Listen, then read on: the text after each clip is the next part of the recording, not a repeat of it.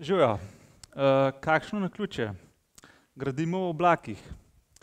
Ja, to počnem danes in predavam inženirjem po vsem svetu, kako graditi infrastrukturo, zato da bojo naše novodobne aplikacije tako dobro šibale.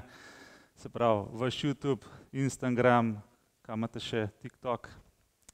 Ja, uh, ampak danes bi rad govoril o enem drugem oblaku, začel bi pa z enim jazom. Uh, ta jaz sem jaz, lahko ste pa tudi vi. Zdaj ta jaz je lahko nek nagrajenec za neko aplikacijo, ta jaz je lahko predavatelj v Dubaju, ta, ta jaz je lahko podpornik TEDx dogodkov. In ta jaz je praktično lahko vse, za kar se jaz odloči. Zato bi jaz na tem mestu povedal uh, sledečo stvar. Trije koraki se mi zdijo najbolj pomembni, da ta vaš jaz pride do izraza oziroma da pridete na cilj.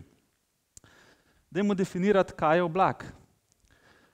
Zame ali pa za tole mamico v Indiji je lahko oblak dejansko en skupek strežnikov, kateri vam nudijo storitve, kot so Facebook, Instagram in podobne zadeve. Lahko je pa za enega mladega otroka to nek oblak, z katerega pada dež, mogoče pa za to, za kakšnega oblak tudi oblak v glavi, ali pa oblak, v katerem živimo. In jaz mislim, da ta oblak, v katerem živimo, je najbolj pomemben. Vsak posameznik ima svoj oblak v glavi in pa oblak, v katerem živi. Zato se mi zdi prav, da vsak sanjari na prvem mestu. Kaj pomeni, da sanjarimo? To, da sanjarimo, pomeni, da imamo idejo, kaj bi radi sploh v življenju naredili, dosegali. Lahko je to da želite biti uspešni kot podjetnik, lahko je to, da ste uspešni kot umetnik, lahko ste uspešni kot glasbenik, slikar, karkoli. O tem sanjarte, kje pa pride do problema, do izziva. Pride pri tem, ker vsi vstanejo pri sanjarenju. In treba je pa nekaj v življenju narediti, zato da pridemo na tisti cilj, katerega smo si zastavili, v katerem sanjamo. Zdaj, če jaz to impliciram čist na moji zgodbi, jaz sem bil tudi dijak gimnazije Kranj, sem uspešno zaključil maturo, potem sem se upisal na fakulteto za elektrotehniko, telekomunikacije in nekaj let delal tudi na fakulteti. Potlej pa sem rekel, Gašpr, tole ni zate, ti si bolj podjetniški karakter, ti rabaš izzive, ti rabaš več kot to. Ne? Pa ne samo materialno. In na koncu sem se odločil, da naredim svoje podjetje. Ne.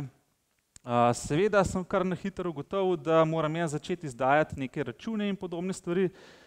In sem začel gledati po internetu, kaj mi lahko olajša to delo. Seveda nisem najdel nič primernega, ker sem bil zahteven uporabnik, predvsem do sebe. In na tem mestu sem rekel, nič gašpar, ti moraš nekaj narediti. No, in pol sem jaz sem rekel, bom naredil to aplikacijo, in pol se zatakne že pri prvem koraku. Ja, se ne znaš programirati, se ne znaš dizajna delati. In teh ovir bo ogromno v vašem življenju. In kar lahko naredite, je, da si naredite strategijo, kako pride do cilja, si napišete točke na štir format. Recimo, jaz sem si napisal, pojdi na ministrstvo, skleni pogodbo, da boš lahko izmenjeval e-račune pojdi recimo do tega pa tega znanca, ga vpraši, če bi ti pomagal pri programiranju, pojdi do tega in tega. Skratka, obkrožite se z ljudmi, ki znajo in naj vam pomagajo, naj vam bojo mentori. No in na tem mestu seveda tisti 26-letnik pride tja na ministrstvo, to podpišemo, naredimo, pol je pa še ena ključna stvar, ta ekipa.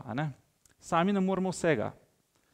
In ko imate vi eno ekipo, meni se je zgodilo pol, da je ta ekipa propadla, nova ovira, kaj pa zdaj? Pol se spet zamisliš, čakaš mesec, dva, se smilaš malo sam sebi, potlej pa rečeš, ne, jaz ne bom tukaj ustal, jaz bom naredil več, jaz bom speljal to do konca, jaz nisem kle prišel zato, da bom naredil nekaj na pol. Seveda sem pol najdel novo ekipo, smo naredili to do konca, tako kot se gre, je bilo vse super na koncu, uh, ampak seveda, vse, kar sem zaslužil med delom, ko sem delal na fakulteti, sem vlagal v ta svoj produkt in ugante kaj, ne? Ja, seveda, dvakrat v življenju sem tudi bankrotiral. Tako da, če čist po pravici povem, ja, dvakrat sem se mogel preseljati nazaj domov k mami, ampak to je tudi del uspeha. Tako da še to, jaz sem pod povprečjem, mislim, da sem se vcelil pri 26. Um, no, v glavnem, na koncu bi pa rad dodal še to, um, vsako tako stvar, ki imate te ideje, ki jih napišete na list papirja, ko obkljukate vsako točko, vsak korak, ki so v bistvu minorni, majhni delčki cilja, boste videli, da po nekih, dajmo reči, ko obkljukate vse te točke, pridete na vaš cilj. In kar naenkrat je fascinantno. Jaz na začetku, ko sem ti svoj kalkulator spleten gledal, sem rekel, bravo, kaj si pa naredil. In na koncu vidite, ko pa obkljukate vse točke, pa vidite, da ste naredili nekaj velikega. Ne? In zato so pomembni majhni koraki, bodite odločni in pejte naprej. Um, vse to seveda ponavljate, ideja naredi, ideja naredi. Tako da prosim, naredite karkoli vam imate v mislih, naredite. Ena zelo pomembna stvar, ki nas spremlja, oziroma bi mogla biti tudi ključ, je pa ta fokus.